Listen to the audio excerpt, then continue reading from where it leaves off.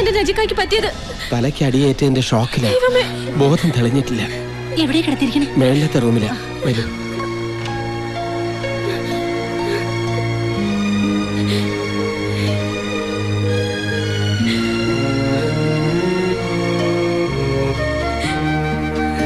പേടിക്കാനൊന്നുമില്ലെന്നാ doctor പറഞ്ഞത്. എന്താ ഉണ്ടായത്? എന്താ സംഭവിച്ചതെന്ന് ബോധം തെളിഞ്ഞാലേ അറിയാൻ പറ്റൂ.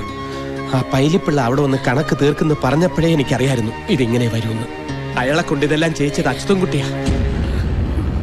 ബാലമാമ എത്രയും പെട്ടെന്ന് ഇവിടം വരെ ഒന്ന് വന്നേ പറ്റൂ. പ്രശ്നമുണ്ട്. നീയും നജീബായിട്ട് പിന്നെയും പ്രശ്നം ഉണ്ടായോ നിങ്ങളൊക്കെ വിചാരിക്കുന്നത് പോലെ എനിക്ക് അവനോട് ഒരു വൈരാഗ്യവും ഇല്ല. നേരാണോ? അതെ. ഇനി ഒരു കാര്യം ഞാൻ ബാലമാമയോട് തുറന്നു പറയാം. എന്റെ കൂടെ നിന്നപ്പോ അവനുണ്ടായിരുന്ന ഉത്തരവാദിത്വം ഇല്ലായ്മയും ഉഴപ്പും മാറ്റിയെടുക്കാൻ വേണ്ടി ഞാൻ മനഃപൂർവം കാണിച്ചതാ ഇതൊക്കെ. ഈശ്വര. ഞാൻ എന്തായി കേക്കണേ സത്യം പറഞ്ഞ ഈ ഇവന്റിന്റെ പകുതി അവനെ കൊണ്ട് ചെയ്യിക്കാൻ ഞാൻ നിർബന്ധം പിടിച്ചത് ആരെയും അറിയിക്കാതെ അവൻ വരുത്തി വെച്ച കടങ്ങൾ വീട്ടിക്കോട്ടെ എന്ന് കരുതിയ. പക്ഷെ ഇപ്പൊ കാര്യങ്ങളാകെ കൈവിട്ടു പോകുന്ന മട്ട. അതുകൊണ്ടാ അത്യാവശ്യമായിട്ട് ചില തീരുമാനങ്ങളൊക്കെ എടുക്കണം. നീ എന്താ കാര്യം പറ. കാര്യങ്ങളൊക്കെ വിശദമായിട്ട് അമ്മാമ ഇവിടെ വന്നിട്ട് പറയാം. തൽക്കാലം അമ്മയും അശ്വതിയും ഇതൊന്നും അറിയണ്ട. എന്താടാ? ആ പൈലിപ്പിള്ളയുള്ള ആൾക്കാരും കൂടി നജീബിനെ തല്ലിന്ന്. പൈലിപ്പിള്ളേ അയാൾ ഇവിടെ ഇപ്പൊ എത്തി. എന്തിനാ അവനെ തല്ലിയത്? അതൊന്നും അറിഞ്ഞൂടാ. നജീബിനെ ആശുപത്രിയിൽ അഡ്മിറ്റ് ചെയ്തേക്കാണ്. ഈശ്വര. അച്ചോട്ടൻ വിളിച്ചു വെച്ച് തല്ലിച്ചതാണെന്നാ പറയണത്. ഏ? ആ. ആ, നീ വണ്ടി കയറ്.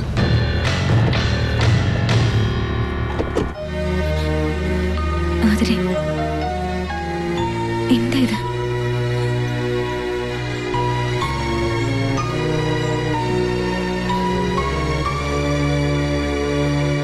ചത്തൊന്നറിയാൻ വന്നാണോ? അങ്ങനെ വിളിക്കണ്ട? ഞാനൊന്ന് പറഞ്ഞോട്ടെ? ഒന്നും പറയണ്ട. ഒക്കെ എനിക്ക് മനസ്സിലായി. എന്റെ ദോഷജാതകം കാരണം നിങ്ങൾക്കൊരു ജീവിതം ഇല്ലാണ്ടാവുമെന്ന് കരുതി എല്ലാം അവസാനിപ്പിക്കാൻ പോയെടുത്തുനിന്ന് എന്നെ രക്ഷിച്ചോണ്ട് വന്ന് എനിക്കൊരു ജീവിതം തന്നയാളാ എന്റെ നജീക്ക.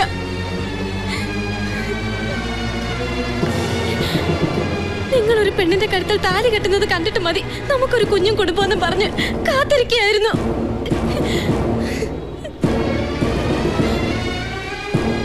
വേണ്ടിയാ ഈ വാശി മുഴുവൻ കാട്ടിയത്.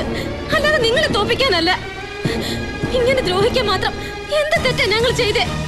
ഒന്നും ഒന്നും ഞാൻ അറിഞ്ഞതല്ല. വേണ്ട. ഇനി കള്ളം പറയണ്ട. കാണണ്ട എനിക്ക്. പോയ്ക്കോ. ഇറങ്ങി പോയിക്കോ എന്റെ കൺമുമ്പിൽ.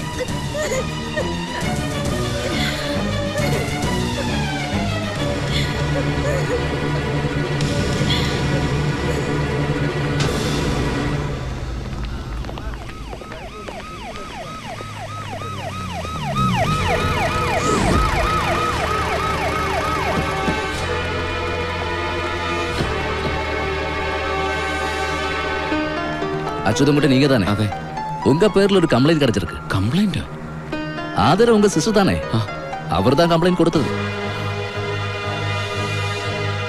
ഞാൻ ഒരു തെറ്റും ചെയ്തിട്ടില്ല அதெல்லாம் ஸ்டேஷன்ல போய் பேசிக்கலாம் வந்து ஜீப்ல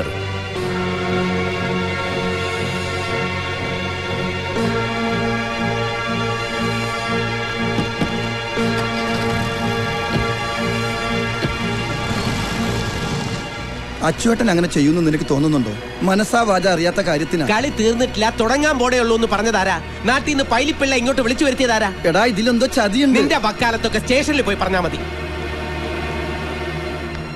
நம்ம எதிராளே வந்தவரோட கதிய பாத்தியா மச்சா அந்த அச்சுதன் குட்டி ஸ்டேஷன்ல நஜீப் ஹாஸ்பிட்டல்ல அவனுக்கு இன்னும் போதமே வந்துட்டல எல்லாமே ஆண்டவனோட தீர்ப்பு ஏன் தெரியுமா மீனாட்சி நம்ம வீட்டுக்கு மருமகளா வரணும்னு எழுதியிருக்கு അത് നടക്കുമാടാ நடக்கணும் அவ ஸ்டேஷன்ல இருந்து இறங்குறதுக்கு முன்னாலே மீனாட்சி கழுத்திலே சரவணன் தாலிய கட்டியிருக்கணும். அது எப்படி நடக்கும்? சரவணன் வீட்டுக்கு வர்றதே இல்லையே. அந்த விஷயத்திலே டென்ஷனே வேண்டாம் மச்சா. அவனை எங்க இருந்தாலும் நான் கூட்டிட்டு வரேன். நாட்டாமை சொன்ன பத்தாவது நாள் நாளைக்கு தானே? ஆமா. அச்சுதன் குட்டி மீனாட்சி கழுத்துல தாலி கட்டி தான் ஆகணும். ஏன்னா ஏழாவது நாள் அவன் நிரபராதின்னு தெளிக்கவில்லை. ஆனா இந்த கல்யாணம் நடக்கவே கூடாது. சரவண்ணனுக்கு மீனாட்சி கழுத்தில் இந்த ஊரில் வச்சு தாலி கட்டவும் முடியாது.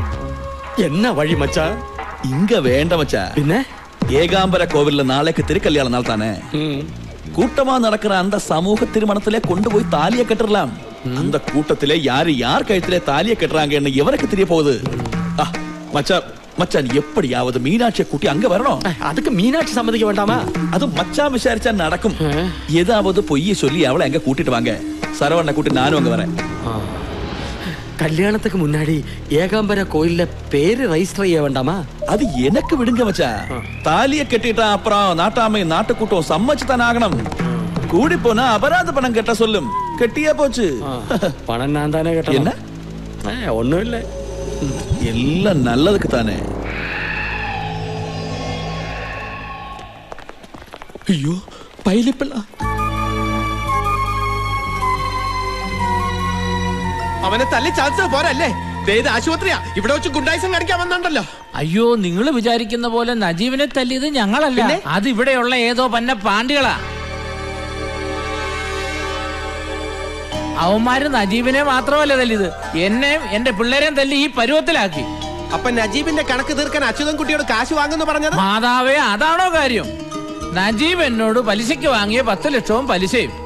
നജീബ് തന്നില്ലെങ്കിൽ അച്യുതൻ കുട്ടി തന്നോളാമെന്ന് വാക്ക് പറഞ്ഞിട്ടുള്ളതാ. അതാ. പത്ത് ലക്ഷം? വേളാങ്കണ്ണി മാതാവാണ് വിശുദ്ധ അൽഫോൻസാമയാണ് അതൊന്ന് ചോദിക്കാൻ വേണ്ടിയാ നജീബിനെ കാണണമെന്ന് പറഞ്ഞു. പേഷ്യന്റ് കണ്ണു തുറന്നിട്ടങ്ങ് കണ്ണു തുറന്നോ? മാതാവ് കാത്തു. ഞാൻ പറഞ്ഞത് സത്യമാ തല്ലിയത് ഞങ്ങളല്ല. ഇല്ല നജീബിനോട് ചോദിക്കാം. ബാ. പടച്ചോനെ ഇയാൾ പോയില്ലേ? നജീബേ എടാ. ആരാ നിങ്ങളൊക്കെ? നജിക്ക? ആരാ ഇയാൾ? അയ്യോ. എന്താ നജിക്കായി പറയണേ? എന്നെ മനസ്സിലായില്ലേ? ഞാനാ ആതിര. ആരാ ഈ നജീബ്? ഞാൻ മീനാക്ഷി. ഏത് മീനാക്ഷി? നിങ്ങളൊക്കെ ആരാ? ഡോക്ടറെ ഇവരെ പിടിച്ച് പുറത്താക്ക്. കർത്താവേ ഞാൻ ഡോക്ടറോ ഈശ്വര ആരെയും തിരിച്ചറിയാൻ പറ്റാതായെന്നാ തോന്നണേ. എടാ ഇത് ഞാനാടാ സി എം. സി എമ്മോ സി എം ഇപ്പൊ അച്ചുമാമയല്ലേ അച്ചുമാമിയെ ഓർമ്മയുണ്ട് അതുകൊണ്ട് ചിലപ്പോ അച്യുതൻകുട്ടിയെ കണ്ട ഓർമ്മ വരും നമുക്ക് അച്യുതൻകുട്ടിയെ വിളിക്കാം ഉള്ള ബോധം പോയി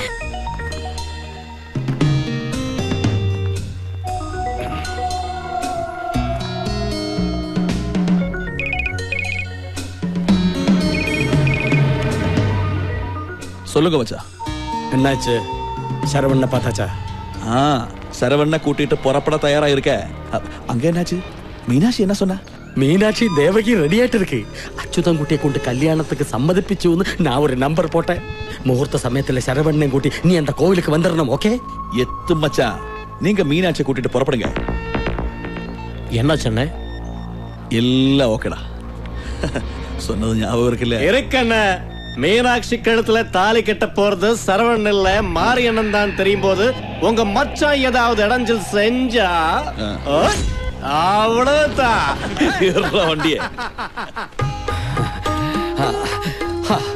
മീനാക്ഷി ഇന്ന് റെഡിയാകില്ല തലയിലെ പൂ കൂടെ വിശാലും അവരെല്ലാം പുറകെ അങ്ങോട്ട് എത്തിക്കോളും. രമ്പ ദൂരം പോണം കണ്ണേ. മുഹൂർത്തത്തൊക്കെ മുന്നാടി അങ്ങ് എത്തണം. സീക്രം റെഡിയായി വാ.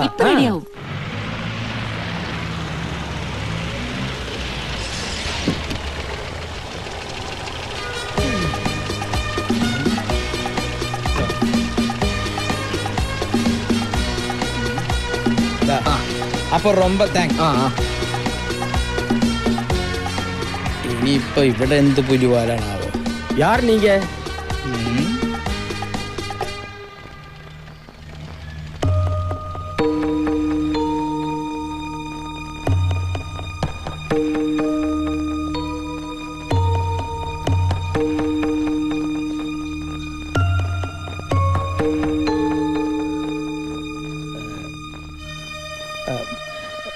ശ്രീരാമനല്ലേ? ബാലാജി മച്ചാ. എന്നോട് പൊറുക്കണം. ഒന്നും മനഃപൂർവമല്ലായിരുന്നു. എല്ലാം അന്നത്തെ ചെറുപ്പത്തിന്റെ അവിവേകം. അണ്ണ ഞങ്ങൾ ഒരുങ്ങി കഴിഞ്ഞു.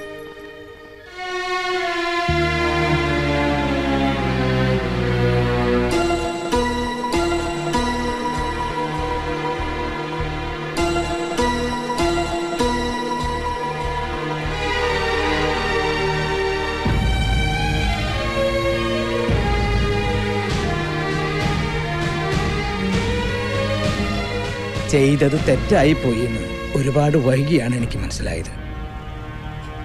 അന്നു മുതൽ അശ്വത്ഥമാവിനെ പോലെ അലഞ്ഞു നടക്കുകയായിരുന്നു.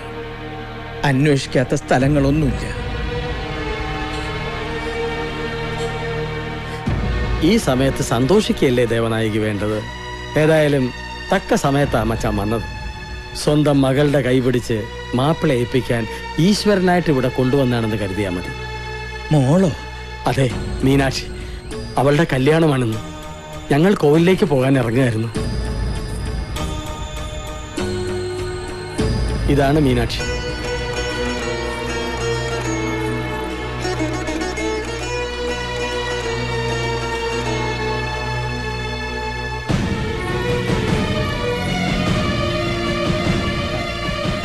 മോളെ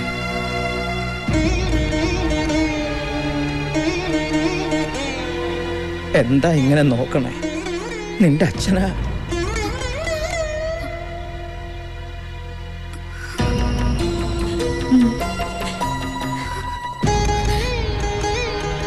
അത്യാവശ്യമായിട്ട് ഇവിടെ എത്തിയേ പറ്റൂ. കാര്യങ്ങളൊക്കെ ഇവിടെ വന്നിട്ട് വിശദമായി പറയാന്ന് അച്യുതൻകുട്ടി പറഞ്ഞപ്പോ കാര്യം ഇതായിരുന്നു എന്ന് അറിഞ്ഞില്ലല്ലോ എന്റെ പരദൈവങ്ങളെ. അച്യുതൻകുട്ടിയോ? അതെ. ഇവിടെ ഇവന്റ് നടത്താമെന്ന് അച്യുതൻകുട്ടി എന്റെ അനന്തരവനാ. ഓഹോ. അപ്പൊ ഇയാളെ ഒന്ന് വിരട്ടി നിർത്തിയാലേ പറ്റൂ. മാരിയപ്പനെ വിളിച്ച് തല്ലുകാരെ കൂട്ടിക്കൊണ്ടുവരാൻ പറയാം. അതോ കൊട്ടേഷൻകാരൻ എന്താ ആലോചിക്കണേ? അവൻ വല്ല കുഴപ്പമുണ്ടാക്കി ഹേ മീനാക്ഷിയെ കല്യാണം കഴിക്കാൻ പോകുന്നത് അച്യുതൻ കുട്ടിയാ? ഈശ്വര നീ എന്തൊക്കെ അത്ഭുതങ്ങളാ കാണിക്കണേ? അത്ഭുതങ്ങൾ ഇനിയും കാണാനിരിക്കുന്നതേ ഉള്ളൂ. മുഹൂർത്തത്തിനു മുമ്പ് അവിടെ എത്തണം.